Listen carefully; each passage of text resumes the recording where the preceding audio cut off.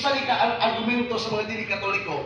Usay daghang katoliko nga ubalhin sa lain tinuod tungod ini. Amen. Amen. Usahay na magsuon sa wayo na ba sa mga dili katoliko. Kamong katoliko. Sige sabat-sabat way sabot-sabot. Tinuod eh. Amoy ng ingon.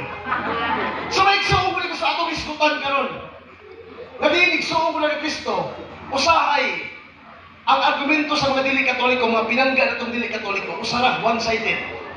Pero ang gitudlo sa simbahan katoliko, kinatibukan. Ang pagtuon sa balaang kasulatan, ikalawang Timoteo 3.16, kinahanglan tunan mo kini kinatibukan na pagtuon. Tungod kay usahay, pag kini katoliko, makonvert sa laing tinuan sa buhaton sa pastor. Oy! Kung sa buhaton sa pastor, kargahon kini mga larawan, dakuban, sunod sa sako, kapantay ka. Hindi pong katoliko, ipitok-pitok ka pong matao sa eh. No? Kung simba na, magyang mayamo na, huwag yung kabalo sa pagtulong ng simbahan katoliko. Mo lang balik makarbens. Amen.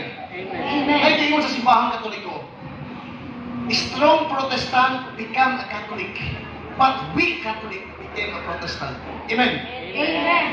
Nung maalamon nga protestante na tuon ng biblical theology, makonvert sa katoliko. Wala na mo. Mga pastor ka dito. Amen. Amen. Pero di man mo suguntihin mo kung katoliko. Pero galing kayong katoliko, naway, wa magtuon siya pagtuong katoliko, convert sa laing tinuwan. Amen. So, Amen. ito iskutan ka ron. Common objection sa mga dili katoliko. Ato ni bantayan na ha. Kay mauling gabiton sa mga dili katoliko. Ato y ato y balayo.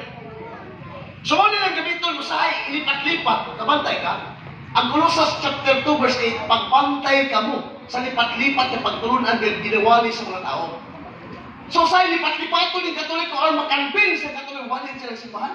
Kini ilang gamiton, gabantay ka? Atong, atong klaro mo na.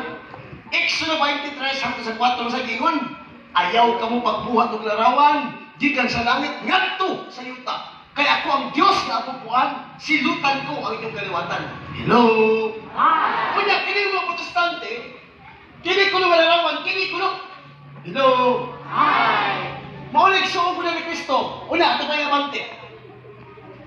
Matod pa, nalimatan, hindi ka kita.